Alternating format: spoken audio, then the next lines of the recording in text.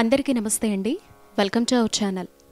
ఎలా ఉన్నారందరూ? మీరంతా మీరెంతా హ్యాపీగా సంతోషంగా ఉండాలి అని మనస్ఫూర్తిగా కోరుకుంటూ మీలో మొదటిసారి మన ఛానల్ చూస్తున్న వాళ్ళు ఎవరైనా సబ్స్క్రైబ్ చేసుకుని పక్కనే ఉండే బెలైకాన్ని క్లిక్ చేస్తే మన హిందూ సంప్రదాయంలో ఉండే అనేక పూజా విధానాలతో పాటు అనేక సమాచారపరమైనటువంటి వీడియోస్ని కూడా మన ఛానల్ ద్వారా మీరంతా తెలుసుకోవచ్చండి.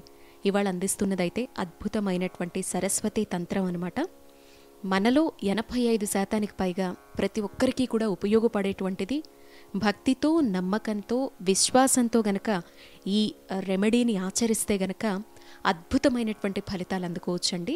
ఇది ఎలా ఆచరించాలి? ఏ విధమైనటువంటి విధానాలు పాటించాలి? దీని పద్ధతి ఎలా ఉంటుంది? అనేటువంటి విశేషాల్ని మీకు చూపిస్తూ నేను అందించడం జరుగుతూ ఉంటుంది చెప్పడం జరుగుతుందండి. సో అందుకని ఎక్కడ స్కిప్ చేయకుండా చివరి వరకు చూడండి. సో అలాగే నేను చెప్పేటువంటి విశేషాలతో ఎంతమంది ఏకీభవిస్తారు అనేది కూడా కామెంట్ బాక్స్లో షేర్ చేసుకోండి. చాలా మోస్ట్ రిక్వెస్టెడ్ వీడియో అనుకోవచ్చు. ఎందుకంటే ఇప్పుడు కాలేజెస్ అలాగే స్కూల్స్ అనేవి స్టార్ట్ అవుతూ ఉన్నాయి. ముఖ్యంగా మనలో ప్రతి ఒక్కరం కూడా కోరుకునేది మన పిల్లల భవిష్యత్తు బాగుండాలి అని చెప్పి. ఒకప్పటి రోజులు వేరు ఇప్పటి రోజులు అనేవి వేరు. ప్రతి ఒక్కరం కూడా పిల్లల భవిష్యత్తు గురించి మనసులో ఒక లోటుతోనే ఉంటూ ఉన్నాం. ఎవరిది కూడా సాటిస్ఫైడ్ లైఫ్ అనిపించడం లేదు. ఎందుకంటే ఏమైపోతారు వీళ్ళు? ఎలా బ్రతుకుతారు? ఎలా ఉంటారు? అనేటువంటి ఆలోచనే ప్రతి ఒక్కరికి కూడా ఉంటుందన్నమాట ఖచ్చితంగాను.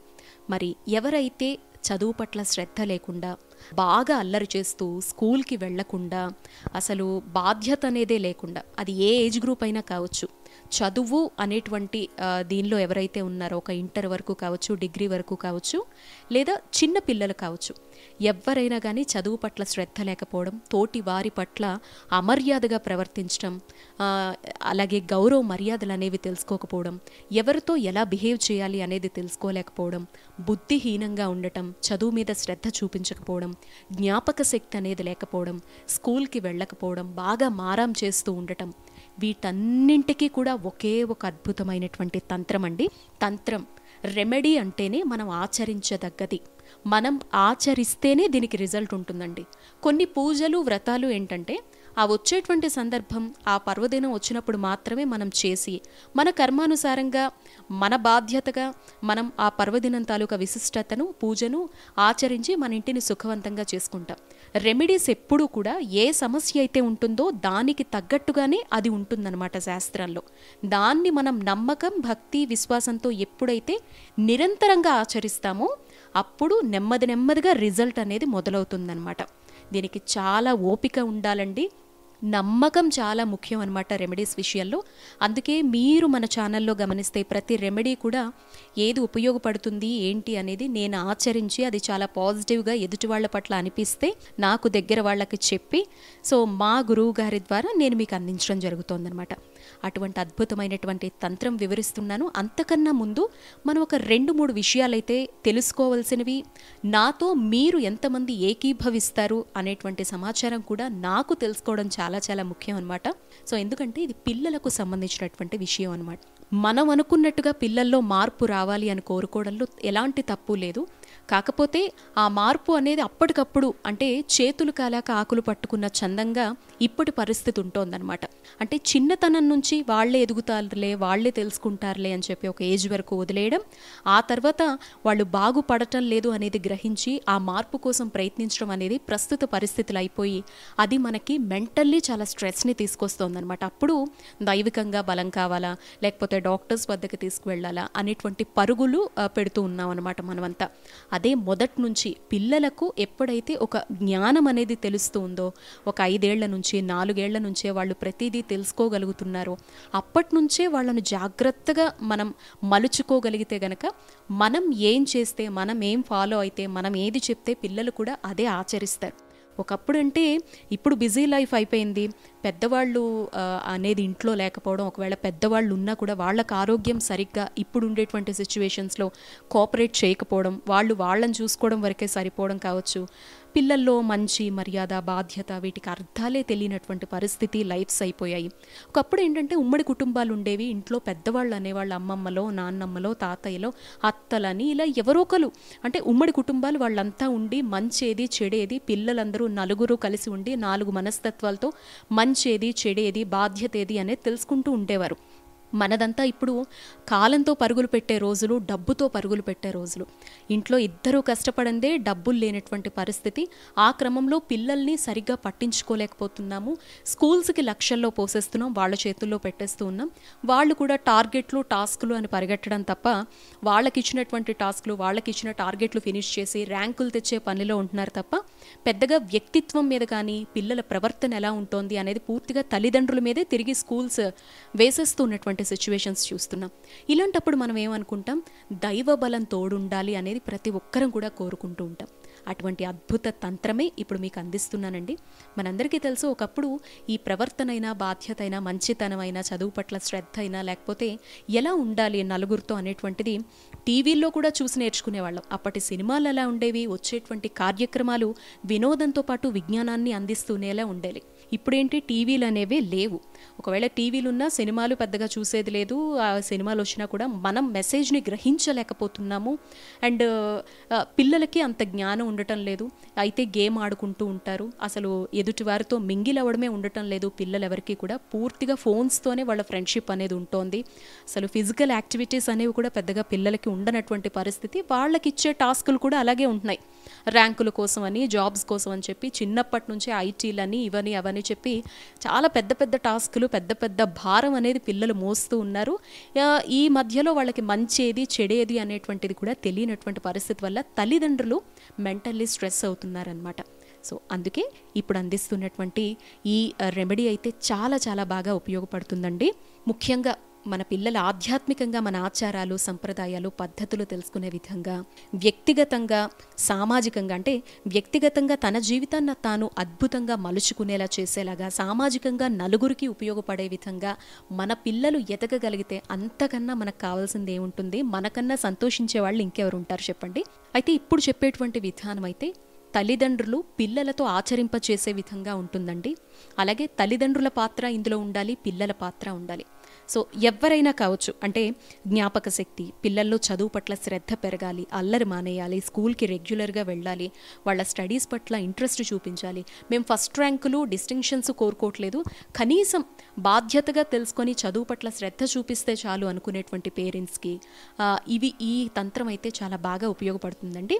దీనికోసం ఏం చేయాలి ఎటువంటి నియమాలు పాటించాలి అనేది మీకు నేను చెప్తాను. చాలా సులభంగా అనిపిస్తుంది కానీ ఆచరించాలే కానీ అద్భుత ఫలితాలు అందుకొని దేశ విదేశాల్లో ఉన్నత స్థానాల్లో ఉన్నారండి. ఈ తంత్రాన్ని ఎవరైతే ఇప్పటి వరకు ఆచరించారు. ఎంతోమంది పండితులు శాస్త్రాల్లో చెప్పినటువంటి విషయం అండి. దీన్ని సరస్వతి తంత్రం అంటారనమాట ఇందుకోసం మన ఇంట్లో సరస్వతి అమ్మవారి ఫోటోనే ఉండాల్సినటువంటి అవసరం లేదు. కానీ ఖచ్చితంగా చదువుకునేటువంటి పిల్లలు ఇంకా చెప్పాలంటే పిల్లలు ఉండే ప్రతి ఇంట్లో దక్షిణామూర్తి వారైనా హయగ్రీవ స్వామి వారైనా దత్తాత్రేయుల వారైనా గురువుకి సంబంధించినటువంటి ఫోటో లేదా ప్రతి ఇంటికి ఒక గురువు అంటూ ఉంటారు. సో వారి ఫోటో అనేది ఇంట్లో ఖచ్చితంగా ఉండాలండి. ముఖ్యంగా పిల్లలు అదే పనిగా పూజ ప్లేస్ దగ్గరికి వెళ్ళి దండం పెట్టాలంటే అంత ఇంట్రెస్ట్ చూపించారు చిన్నప్పటి నుంచే భక్తి అంటే. చూపించే వాళ్ళు నిజంగా చాలా అదృష్టవంతుల తల్లిదండ్రులు. ఇప్పుడున్న పరిస్థితుల్లో అది గగనం అనే చెప్పాలి. సో అందుకు వాళ్ళు వెళ్ళేటప్పుడు అంటే మనం ఒక హాల్లోనో వాళ్ళు వెళ్ళిపోతున్నారు అనంగా అటువైపు చూసి దండం పెట్టుకునేలాగా ముఖ్యంగా దక్షిణామూర్తి వారు గురు దక్షిణామూర్తి వారు అయితే మాత్రం దక్షిణం వైపు చూస్తూ ఆయన ఉత్తర భాగంలో కొలువై ఉండేలాగా కనీసం ఒక ప్రింటౌట్ అయినా తెచ్చి పెట్టుకునేలా చూడటం అనేది మన ప్ర ప్రథమమైనటువంటి బాధ్యత. ఇది గుర్తుపెట్టుకోండి. భగవద్గీత లేనటువంటి ఇల్లు ఏ విధంగా అయితే ఉండకూడదో దక్షిణామూర్తి వారి ఫోటో లేనటువంటి ఇల్లు కూడా ఉండకూడదండి. సంతానం పిల్లలు ఉండేటువంటి ప్రతి ఇంట్లో ఇంకా చెప్పాలి అంటే మనకు మన వ్యాపార పరంగా మన వృత్తిపరంగా మనకు కూడా జ్ఞానాన్ని ప్రసాదించేటువంటి సాక్షాత్ శివయ్య రూపమే దక్షిణామూర్తివారు ఆయన వైపు కాసేపు చూస్తే చాలండి మన మైండ్ చాలా రిలాక్స్ అయిపోతుంది. ఏదైనా కష్టం అనిపించినా చిక్కుముడి వీడనటువంటి సందర్భం ఉన్నా ఆయన వైపు కాసేపు చూస్తే పరిష్కార మార్గం కూడా చూపిస్తారు అని చెప్పి ఎంతోమంది సాధకులు చెప్తూ ఉంటారనమాట అందుకే స్వామివారి ఫోటో కనీసం ప్రింటౌట్ అయినా మీ ఇంటి గోడ మీద బెడ్రూమ్స్లో పెట్టుకోకండి. హాల్లో కావచ్చు పూజా మందిరంలో కావచ్చు ఆయన దక్షిణం వైపు చూసేలాగా దత్తాత్రేయుల వారైనా. ఇద్దరిలో ఎవరిదైనా పెట్టుకోవడానికైతే ఫస్ట్ ప్రిఫరెన్స్ ఇవ్వండి. ఆ తర్వాత చిన్న పిల్లలు అనుకోండి ఐదేళ్ళలోపు లేదా ఇంకా పలక మీదే రాస్తూ ఉన్నారు. ఈ కాలంలో పలక మీద రాస్తున్నారో లేదో అనేది నాకైతే తెలియదండి. పలక మీద రాసేటువంటి పిల్లలు గనక ఆ ఏజ్ గ్రూప్ వాళ్ళు మీ ఇంట్లో ఉంటే ఒక పలక తీసుకోండి ఒక బలపం పెట్టుకోండి. పెద్ద పిల్లలైతే అంటే కొంచెం ప- ఏడో క్లాస్ దాటిన తర్వాత పిల్లలు కావచ్చు కాలేజ్కి వెళ్ళే పిల్లలైతే ఒక బుక్కు పెన్. ఆల్రెడీ రాసిందైనా పర్వాలేదండి. ఒక బుక్కు పెన్ అనేది పెట్టుకోండి. ఫస్ట్ అయితే పేరెంట్స్ ఇంట్లో దీపం వెలిగి ఉండేలాగా చూసుకోండి. ఇది చాలా కష్టం అవ్వచ్చు ప్రస్తుత పరిస్థితుల్లో కానీ చెయ్యడానికే ప్రయత్నించండి. ఎందుకంటే మన పిల్లల భవిష్యత్తు కన్నా మనకు కావాల్సింది ఏమీ లేదండి. ఎంతో కష్టపడుతూ ఉన్నాము అయినా కూడా ఇంకొంచెం ముందుగా లేచి ఇంట్లో దీపారాధన అయ్యే విధంగానే చూసుకోండి. వాళ్ళు స్కూల్కి వెళ్ళే టైంకి. సో అలా కాకపోయినా పూజా ప్లేస్లోని పలక మీద ఐం మహాసరస్వత్యై నమః మీకు ఇక్కడ రాస్తున్నాను చూడండి.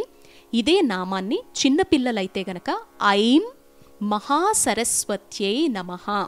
మూడుసార్లు దిద్దిపించేలా చేయండి. పలక మీద అనుకోండి అది ఒకసారి మీరు రాసివ్వండి వాళ్ళని మూడుసార్లు దిద్దమని చెప్పండి. లేదా పెద్దవాళ్ళైతే గనక ఆ నామాన్ని చూపించి ఒక త్రీ టైమ్స్ రాసి ఎదురుంగా దక్షిణామూర్తి వారైనా గురువైనా సరస్వతమ్మైనా అమ్మవారైనా దండం పెట్టుకొని స్కూల్కి రోజు వెళ్ళమని చెప్పండి. ఇది గాని నమ్మకంతో ఆచరించండి. డెబ్భై ఒక్క రోజుల్లోనే మీ పిల్లల్లో అద్భుతమైన మార్పును చూస్తారు.